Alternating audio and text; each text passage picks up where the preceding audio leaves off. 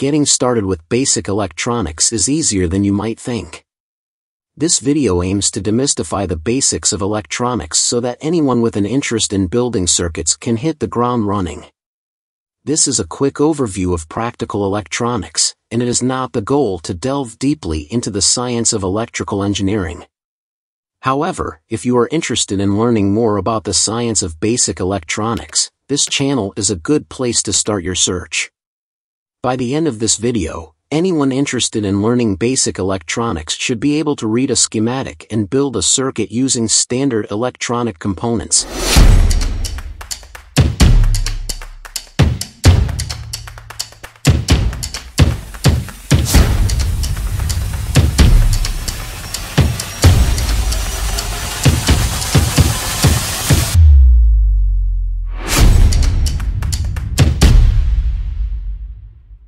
There are two types of electrical signals, alternating current, AC, and direct current, DC. With DC, electricity flows in one direction between power and ground. In this arrangement, there is always a positive source of voltage and a ground source of voltage. With AC, the direction of electricity flow throughout the circuit is constantly reversing. The rate of reversal is measured in hertz, which is the number of reversals per second. For instance, when they say that the US power supply is 60 Hz, it means that it is reversing 120 times per second. Electricity is typically defined as having a voltage and a current rating. Voltage is rated in volts, and current is rated in amps. For instance, a brand new 9V battery would have a voltage of 9V and a current of around 500 milliamperes most basic electronic circuits use DC electricity. As such, all further discussion of electricity will revolve around DC electricity. A circuit is a complete and closed path through which electric current can flow. In other words, a closed circuit would allow the flow of electricity between power and ground. An open circuit would break the flow of electricity between power and ground. Anything that is part of this closed system and allows electricity to flow between power and ground is considered to be part of the circuit. There are two different ways in which you can wire things together, series and parallel. In the circuits on the left, the lamps are connected in series with the battery. In series connected circuits, the same current flows through all loads. In the circuits on the right, the lamps are connected in parallel with the battery. In parallel circuits, all loads have the same voltage.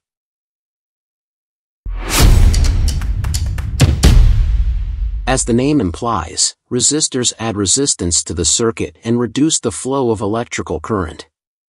It is represented in a circuit diagram as a pointy squiggle with a value next to it the different markings on the resistor represent different values of resistance. These values are measured in ohms. Resistors also come with different wattage ratings. For most low-voltage DC circuits, 1 quarter watt resistors should be suitable. You read the values from left to right towards the gold band. The first two colors represent the resistor value, the third represents the multiplier, and the fourth represents the tolerance or precision of the component. You can tell the value of each color by looking at a resistor color value chart. Values of ohms over a million are represented using the letter M. For instance, 1.000.000 omega would become 1 m omega. Any resistor of over 1000 ohms is typically shorted using the letter K. For instance, 1.000 would be 1 k omega, 3.900 ohms would translate to 3.9 k omega, and 470.000 ohms would become 470 k omega. A capacitor is an electrical component used to store and discharge electricity into a circuit when there is a drop in electrical energy. It can be compared to a water storage tank that releases water during a drought to ensure a steady flow. Capacitors are measured in farads, with values typically expressed in picofarads, PF, nanofarads, NF, and microfarads, UF.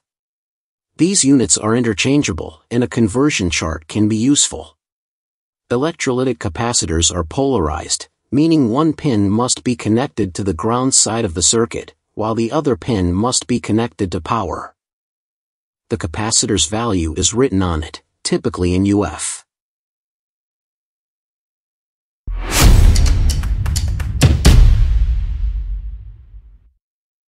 Diodes are polarized components that allow electrical current to pass through them in only one direction, preventing electricity from flowing in the wrong direction in a circuit.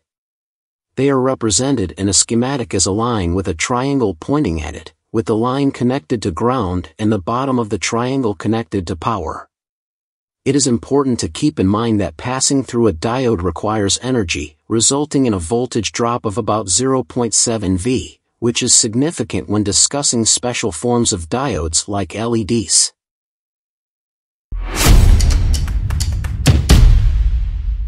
Transistors are components that amplify a small electrical current at their base pin, allowing a much larger current to pass between their collector and emitter pins. The amount of current passing between these pins is proportional to the voltage being applied at the base pin. There are two basic types of transistors, NPN and PNP. NPN transistors allow electricity to pass from the collector pin to the emitter pin and are represented in a schematic with a line for a base, a diagonal line connecting to the base, and a diagonal arrow pointing away from the base. PNP transistors allow electricity to pass from the emitter pin to the collector pin and are represented in a schematic with a line for a base, a diagonal line connecting to the base, and a diagonal arrow pointing towards the base. The transistor's part number is printed on it, and datasheets can be looked up online to learn about its pin layouts and specific properties, including its voltage and current rating.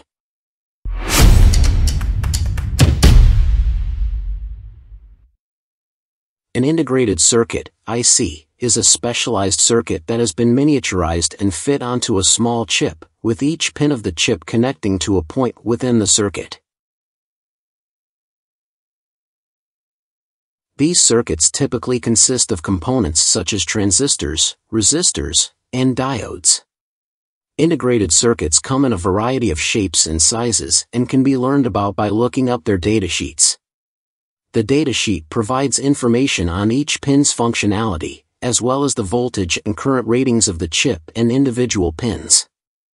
As a beginner, through-hole mounting, THT, chips will be the main type of IC used, while surface mount soldered, SMD, chips are more advanced.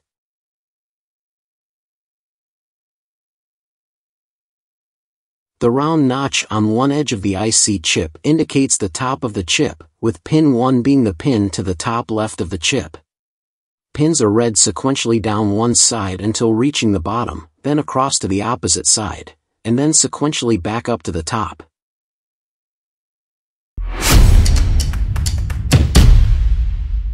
Potentiometers are devices used in circuits to change the resistance, and they are considered variable resistors. They are controlled through a knob or slider that is turned or pushed to modify the resistance in a circuit. Examples of potentiometers include the volume knob on a stereo and the sliding light dimmer.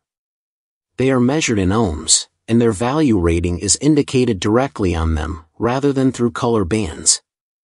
Potentiometers have three pins, which create a voltage divider, essentially two resistors in series.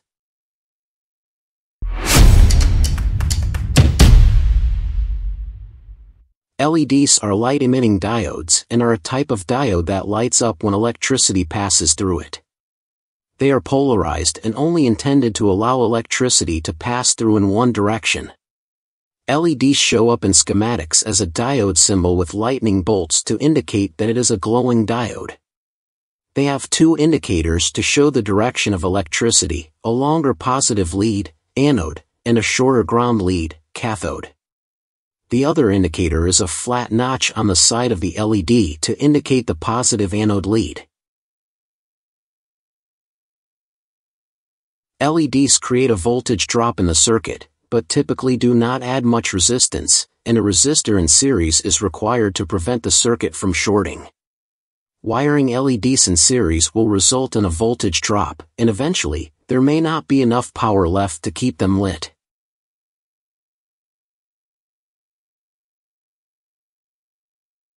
It is best to light up multiple LEDs by wiring them in parallel, but all the LEDs should have the same power rating.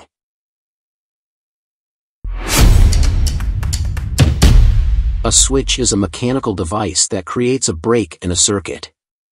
When the switch is activated, it either opens or closes the circuit, depending on the type of switch. Normally open switches close the circuit when activated, and normally closed switches open the circuit when activated.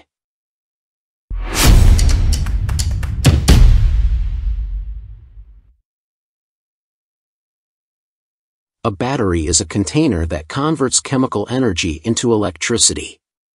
By placing batteries in series, the voltage of each battery is added consecutively, while the current remains the same.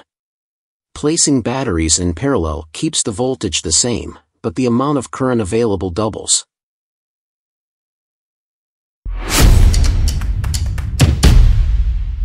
Breadboards are special boards for prototyping electronics. They have a grid of holes that are split into electrically continuous rows. In the center, there are two columns of rows that are side by side, allowing an integrated circuit to be inserted and connected to each pin of the circuit. Breadboards allow for circuit building without having to solder or twist wires together. There are two continuous bus lines on each edge of the breadboard, one for power and the other for ground. By plugging power and ground into these buses, they can be accessed from anywhere on the breadboard. Jumper cables are suitable wires for connecting things together on a breadboard.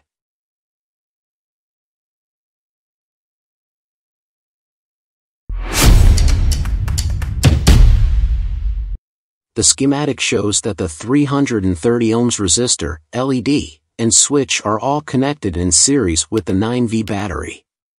When the circuit is built, the LED can be turned on and off with the switch. The graphical resistance calculator can be used to look up the color code for a 330 ohms resistor. That's it for today's lesson on basic electronics. I hope this overview helped demystify the basics of electronics for you and has given you a good foundation for your future learning. If you're interested in learning more about the science of basic electronics, this channel is a great place to start.